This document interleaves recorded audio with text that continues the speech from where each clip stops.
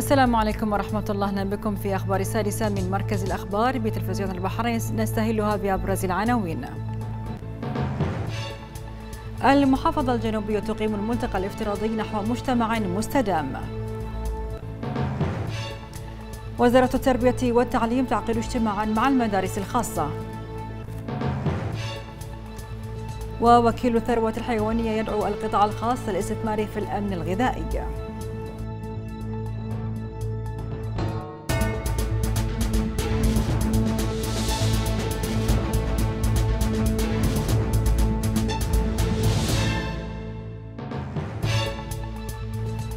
أهلا بكم إلى تفاصيل السادسة. أقامت المحافظة الجنوبية الملتقى الافتراضي نحو مجتمع مستدام تزامنا مع اليوم العالمي للبيئة وبمشاركة عدد من الجهات الحكومية والخاصة المعنية. وخلال الملتقى الافتراضي أكد سمو الشيخ خليفة بن علي بن خليفة الخليفة محافظ المحافظة الجنوبية أن المحافظة تحظى بطبيعتها في التنوع البيولوجي والاستخدام الأمثل للطاقة الحيوية والمتجددة مستشهدا سموه بالمشاريع الإسكانية التي تعكس دعم المشاريع الهادفة لزيادة الرقعة الخضراء في مختلف مناطق المحافظة. وخلال الملتقى الافتراضي أكد سمو المحافظ أن المحافظة حريصة على التعاون الأمثل مع الجهات الحكومية والخاصة من أجل المسؤولية المجتمعية والبيئية في مجتمع المحافظة وإبراز الجانب الحضري المستدام.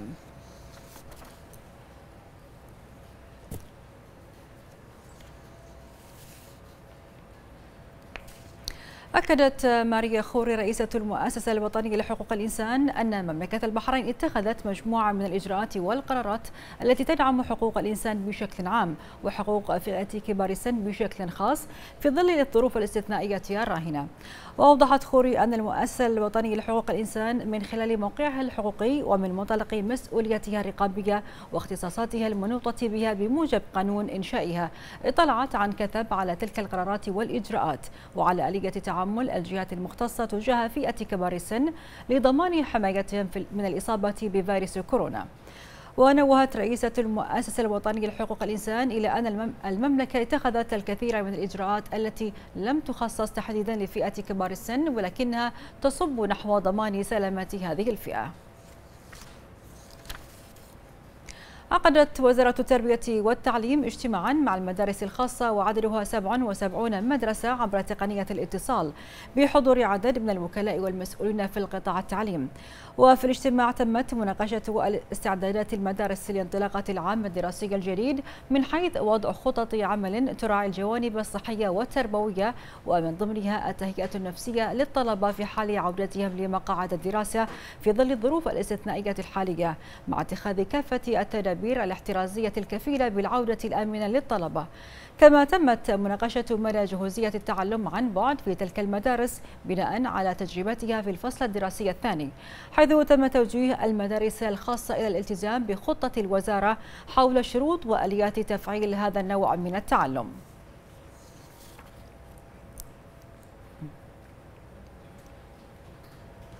يؤكد مجلس النواب من خلال اللجنة النوعية الدائمة لمناصرة الشعب الفلسطيني في المو... في المجلس على موقف مملكة البحرين الثابت والراسخ في دعم القضية الفلسطينية والالتزام بالموقف في تضامن مع حق الفلسطينيين في استعادة أراضيهم والوقوف مع الجهود الهادفة لتحقيق الأمن والاستقرار لفلسطين وشعبها وللمنطقة ككل. وتساهم أعمال وجهود اللجنة البرلمانية في ترسيخ المواقف والقرارات المؤكدة لهذا الأمر في جميع المحافل الإقليمية والدولية. وهذا الحديث أكثر عن عمل اللجنة النوعية الدائمة لمناصرة الشعب الفلسطيني بمجلس النواب خلال دور الانعقاد الثاني من الفصل التشريعي الخامس. ينضم معنا عبر الهاتف سعادة النائب إبراهيم النفيعي رئيس اللجنة النوعية الدائمة لمناصرة الشعب الفلسطيني. مساء الخير سعادة النائب. بداية لو تحدثنا عن جهود عمل اللجنة خلال دور الانعقاد الثاني من الفصل التشريعي الخامس. بسم الله الرحمن الرحيم. أرحب بداية بكم وأشكركم على الاستضافة وعلى تسليط الضوء. على عمل اللجنة البرلمانية لمناصرة الشعب الفلسطيني. ولقد قمنا ولله الحمد خلال دور الانعقاد الثاني من الفصل التشريعي الخامس بعدد ثلاث اجتماعات تواكبت مع مستجدات وحيثيات القضية الفلسطينية. نعم. كما قمنا بتوجيه سبع رسائل ولقاءين مع السفير الفلسطيني أكدنا خلالهما ثبات مجلس النواب البحريني على مطالب الشعب الفلسطيني ونؤكد دوما موقفنا الثابت مع الشعب الفلسطيني الشقيق. ورفض كافة أشكال الانتهاكات والتجاوزات التي تمارسها السلطات الإسرائيلية. وإن مجلس النواب عبر اللجنة البرلمانية لمناصرة الشعب الفلسطيني لتولي القضية الفلسطينية اهتماما بالغا في المشاركات البرلمانية والإقليمية والدولية ويعمل على دعم مشروعيتها محليا ودوليا.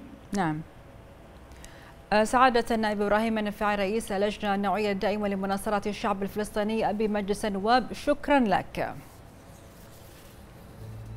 السادسة مستمرة وفيها بعد قليل.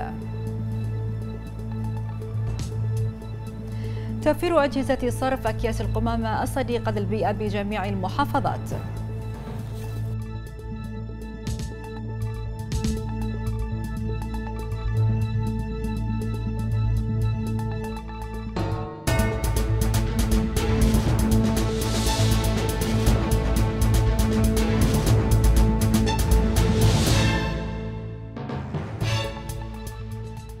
دعا وكيل الثروة الحيوانية بوزارة الأشغال وشؤون البلديات والتخطيط العمراني الدكتور خالد أحمد حسن دعا المربين الراغبين في التوسع في استثماراتهم في قطاع الثروة الحيوانية بجميع تفرعاتها الحيوانية والدواجن للتقدم بمشاريعهم.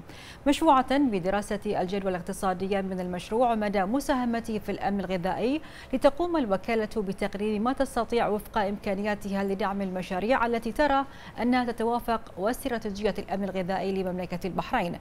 وأكد بأن الوكالة ستتواصل مع جميع الجهات المانحة في مملكة البحرين والتي تدعم مشاريع الأمن الغذائي لتذليل الصعاب وتقديم المشورة الفنية لها في سبيل حصول المربين على الدعم المادي لهذه المشاريع. وأشار الدكتور خالد إلى تحويل بعض الخدمات إلى القطاع الخاص مبدئا استعداد وكالة الثروة الحيوانية للدفع بالمزيد من الجهود التي تمكن المستثمرين من ولوج قطاع خدمات الثروة الحيوانية بما يحقق المصلحة للجميع.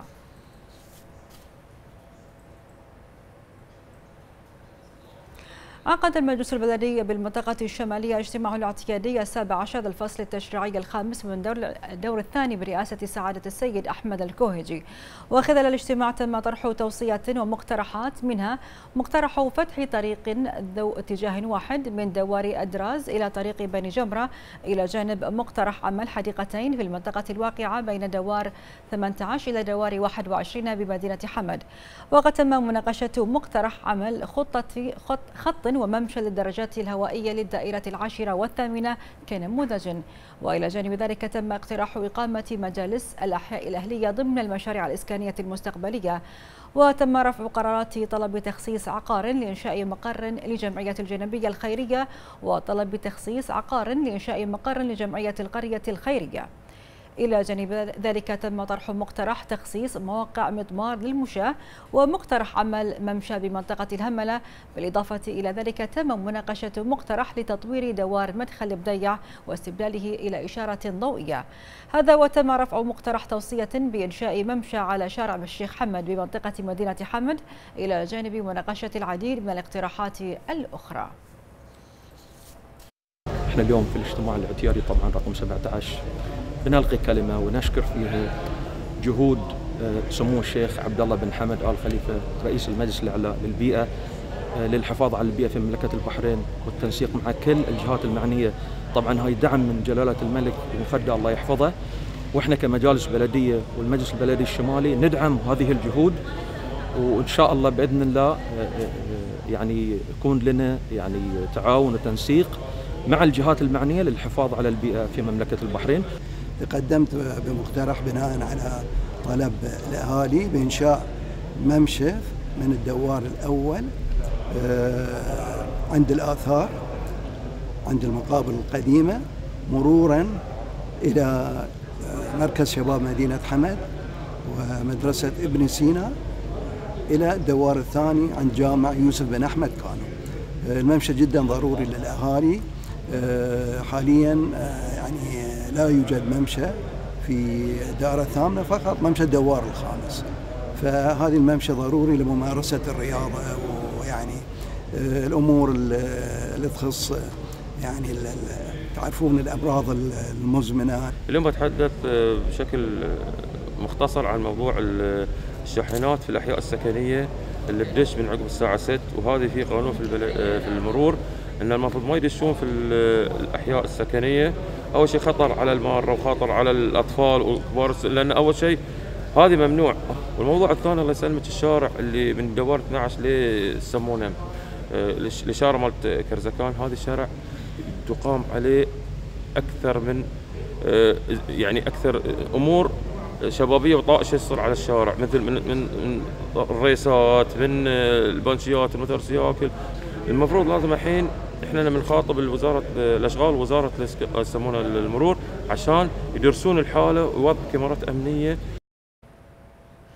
أقر وزير الأشغال والشؤون المدنية والتخطيط العمراني سعادة المهندس عصام خلف أن الوزارة تعمل على إجراءات توفير الأجهزة الذاتية لصرف أقياس أكياس القمامة في جميع المحافظات ذلك بشأن التوصية لآلية توزيع أكياس القمامة في المحافظة الشمالية وضمان حصول المستفيدين على حقهم من الأكياس وبأثر رجعي بالإضافة للتسليم النهائي للمناقصة الموحدة لتزويد وتوصيل أكياس القمامة الصديقة للبيئة للبلديات. حيث أن هذا القرار سيجنب المواطنين ساعات الانتظار والوقوف والتزاحم للحصول على استحقاقهم الشهري. وسيحل المشكلة التي كان يعاني منها عدد كبير من المواطنين بالمحافظة الشمالية والمحافظات الأخرى.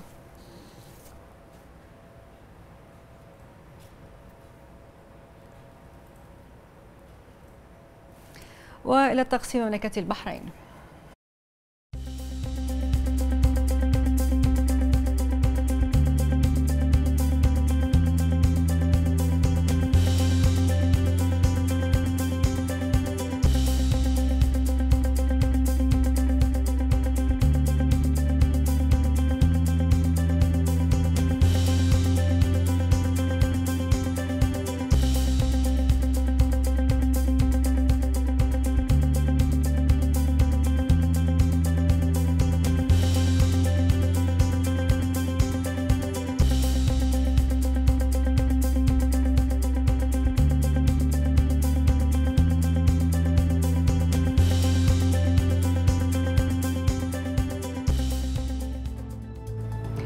وبهذا وصلنا لختام أخبار رسالة اليوم برعاية الله تعالى وإلى اللقاء.